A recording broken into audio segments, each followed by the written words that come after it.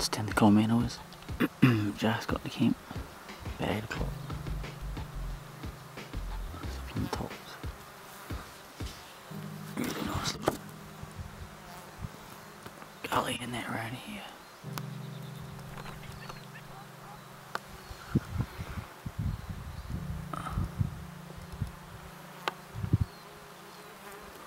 So I'm just going to spend the weekend up here, or the next three days, having a hot glass around and see if we can see, if see anything.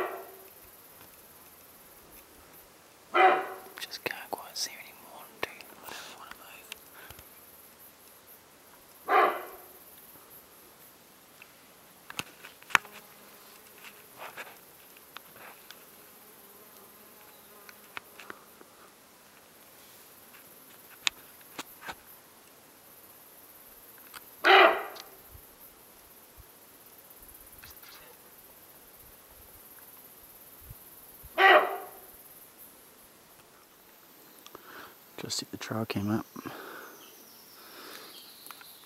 Track leading from there and a couple from over there. Chuck a bit of broadleaf down. So it's just over from where I put that hind up. So hopefully we'll get um nice little open area. Heaps heaps of broadleaf trees so I'll get